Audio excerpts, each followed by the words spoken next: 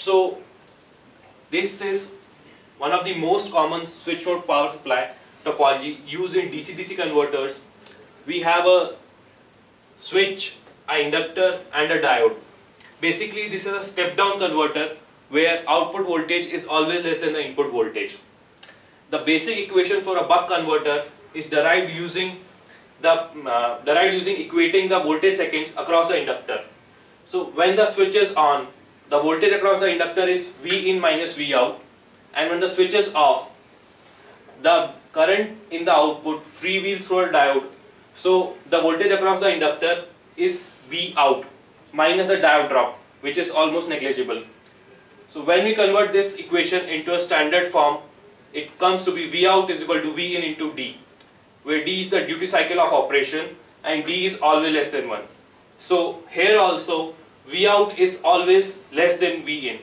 Therefore it's called a step down converter. So here we have a buck converter which is a step down converter.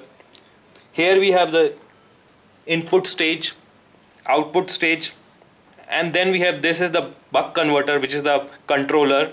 This is the output diode. Here we have an inductor and there are discrete components which are required for the operation of the this device.